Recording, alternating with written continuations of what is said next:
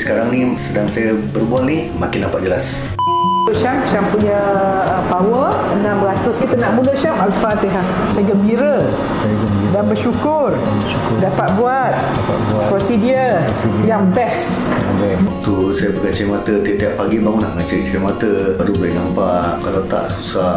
Jadi dari itu saya buat jari mata ni. Dari itu saya datang sini lah. boleh bangun wow Alhamdulillah Nampak? Masya Allah berapa tahun pakai spek? Daripada kecil. 40 tahun ada?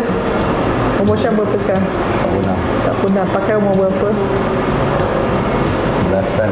belasan tahun. Tak lebih 30 tahun eh Just fokus Takkan rasa sakit Takkan apa. Alhamdulillah Sekejap. Semuanya bagus. Layanan semua baik Semua teratur. Daripada A sampai Z Dan setiap soalan Dijawab seperti mana yang kita mahukan. Kalau dah ada 10 bintang 10 bintang Ada 100 Saya kasi 100 bintang. Siapa nak bebas rabun Datang Iconic. Iconic terbaik